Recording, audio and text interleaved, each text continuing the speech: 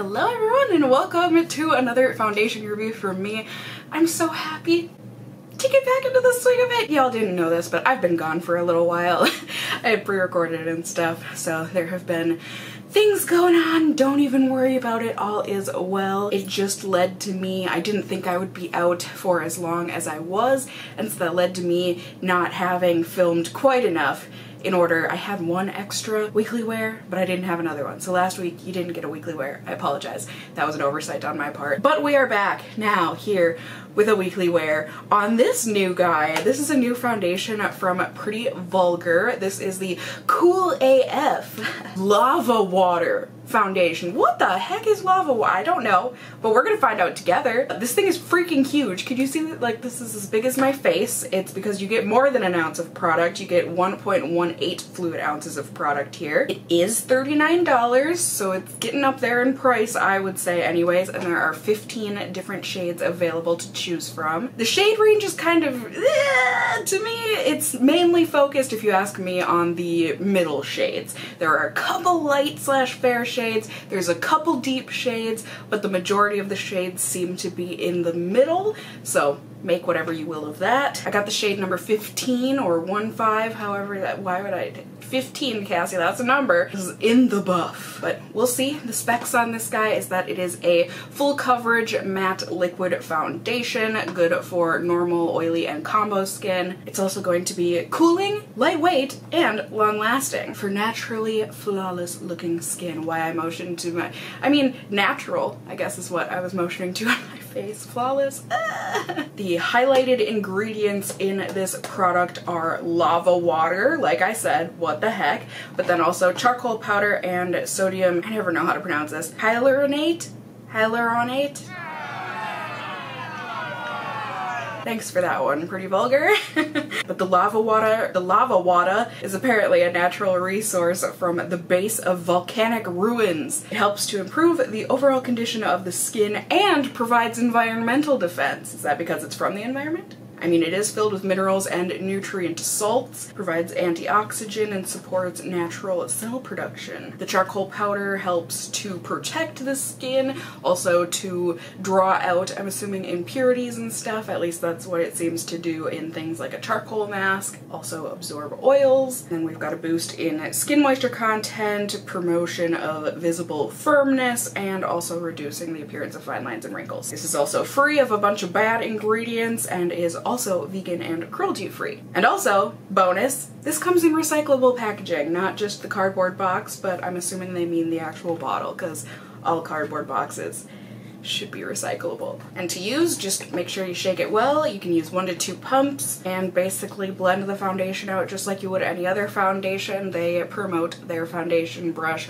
We are going to try it together with a brush that looks kind of similar to that and then also with a sponge. So I think that is about all I can tell you for now. Let's hop on over to my natural daylight so that we can start applying this and then we can start applying this boop boop. All right, so here is my face at the moment. Take my glasses off. Uh, my skin has been washed and moisturized. However, no primer today, not for the first day. We are going to test out this foundation Au Naturel. Like I said, this seems like a large bottle. Kinda, yeah, this reminds me more of a perfume bottle than a foundation bottle, but I do think that's kind of, you know, kind of on brand for Pretty Vulgar. A lot of people, I feel like their packaging sways people one way or the other. Like either people really, really love it or else they think it's super, super tacky. I fall somewhere in between. Some of their stuff I think is pretty tacky looking, but some of it I personally really like. Hmm, something to note, this only has a six month shelf life. I feel like most foundations, isn't it 12 months? But let's see, we've got a nice pump here. But as you all know, the best pumps are those that work. Uh-huh, uh-huh, okay, good job. You passed the first test. Pretty vulgar. Sure, let's do one half of the face with a brush. The brush that they seemed to promote looked like a flat top kabuki type of a thing, so that is what I grabbed. Now let's see how this applies. It's definitely got a foundation smell to it. Also, maybe kind of a SPF-y. I think there's SPF in this though. So maybe I'm just, uh, maybe I'm just kidding myself. And it looks like the coverage, I mean, so far anyways, I would not call this a full coverage foundation, but, you know, if it is buildable, that's great. I would say it's like a light medium at best in terms of coverage. I mean, you can still see discoloration and stuff peeking through for sure. But overall, I don't think it looks horrendous. I've got a feeling I'm gonna like it better with a sponge because most foundations I like better with a sponge and just based on how that applied just now, I just get I've got a feeling, darn it.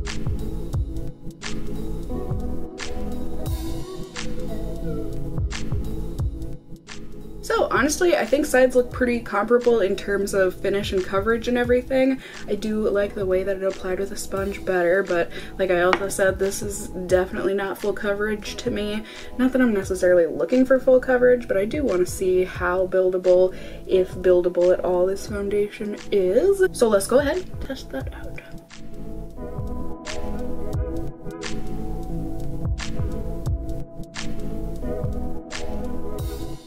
And there we have it. I think it looks pretty good. It looks pretty natural on the skin, I think. It definitely has a dewy kind of a finish. I don't personally think this is matte. And it also kind of has that feeling where it's just on the brink of feeling like it meshes with my skin, but it's not quite there, so it does feel like it's sitting on top of my skin a little bit, which has me, as an oily skinned person, very nervous that this is just going to slippity slide right off. But, you know, time will tell. We are just gonna have to wait and see. So yeah, I am gonna go put on the rest of my makeup, get on with my day. I will be checking in with you all periodically so that we can see how this is doing and everything. And in any case, I'll just, I'll be seeing y'all very soon here on YouTube land. Ready? Ding! All right, my friends, it is the end of the night. I felt no need to check in with you all, which is surprising in that I was very sweaty at one point in the day and I'm starting to feel oily now. But like, we're nine and a half hours in. I'm not gonna blot. I'm gonna go wash my face and go to bed,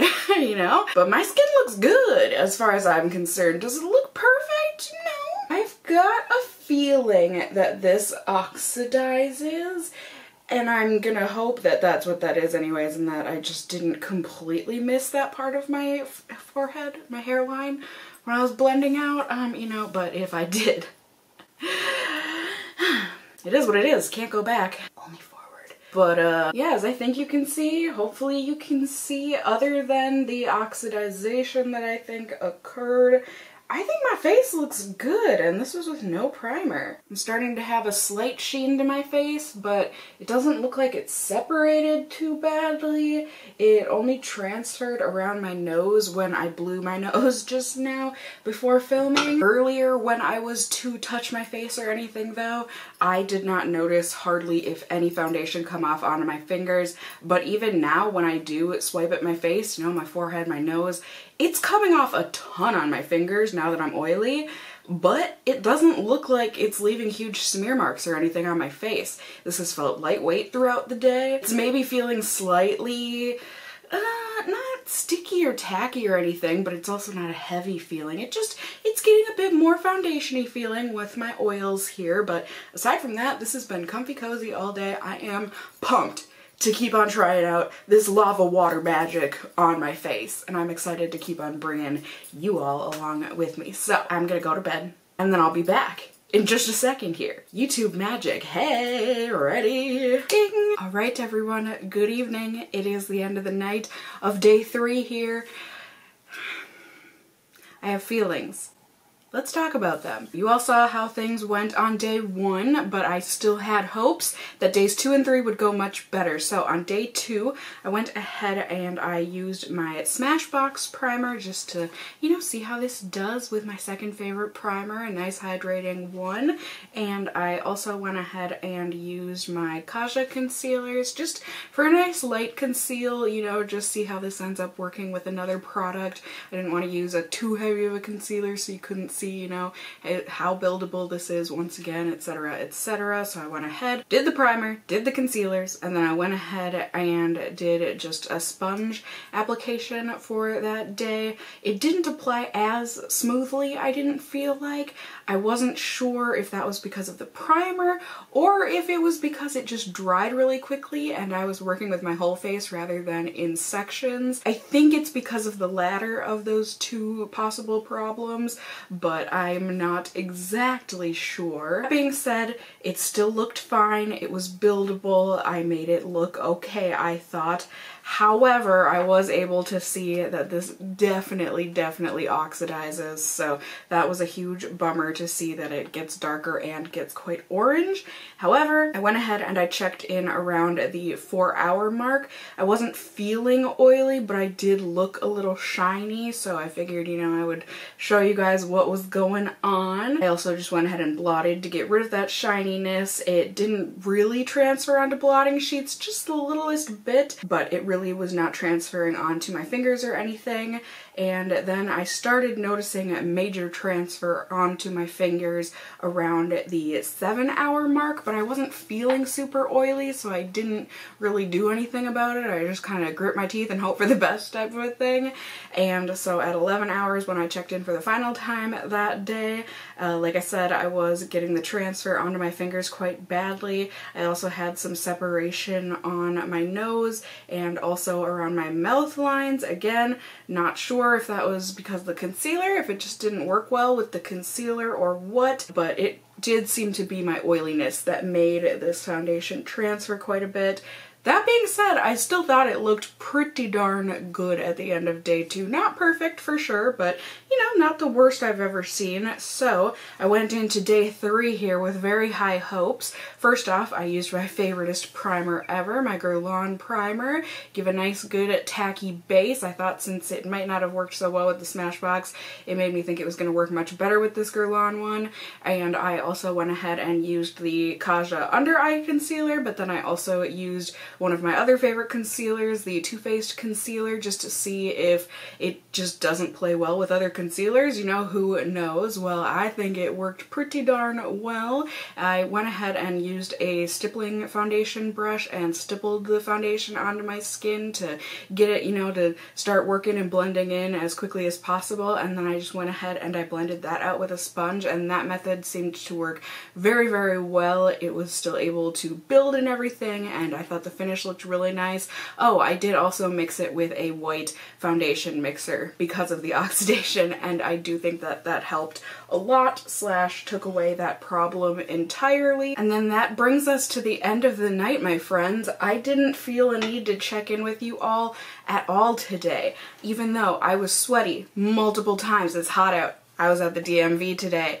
My goodness it was hot at the DMV. There were a lot of people there, even though it's the middle of the week and it was the middle of the afternoon. You know, and I have been a little bit oily throughout the day, but nothing I felt like I needed to touch up at all until the end of the night here. And even then, you know, yes, it transferred onto the blotting sheets, the foundation did, but not horribly. And, you know, there's only the littlest bit of fading around my nose. Like, I'm pretty sure it was from when I had to blow my nose earlier today. You know, I saw it transfer onto the tissue a bit. And guys, I just, I'm, I'm so happy with this foundation. It's got its flaws, for sure. But overall, this might be a contender for my favorite foundation for the summer or you know just for hot weather and that sort of a thing in general. Like I said though it does come with its cons so let's go ahead and do a little roundup here pros and cons. Start off with the pros. First off it's buildable. I like that about it. I don't know that I would call this like a full coverage foundation, so if that's what you're looking for, I don't know that I would suggest this one. So I have something in my eye, I wasn't winking at you, but if you want it to be a wink, uh, wink wink. Second pro is that I feel like this is a very lightweight foundation. It really rarely feels like I'm wearing foundation, even when I do get oily. You know, that's when I tend to feel like, oh, I'm really wearing a foundation, and it starts to feel heavy. This one really didn't have that effect. Like, I could definitely tell when I was getting oily, but it didn't feel uncomfortable or anything like that. And that being said, with oils, I'm not exactly sure, but I think this might control oils a little bit. Not 100%, obviously, you guys saw I did get oily throughout the day, but it just seemed like I didn't get quite as oily. I don't maybe that's in my brain. You all can be your own judge of that. And then overall, my fourth pro for this is that I feel like it wears really gracefully or fades really gracefully. It just overall, I think it looks really good at the end of the night considering everything I have put it through. Then for cons, the first one is just that it does dry quite quickly. I don't know, some people would say this isn't a con, but to me it's just something, you know, I'm gonna have to be cognizant about when I do use this foundation is that you can't work like your whole face, you have to do it in little sections, which is fine.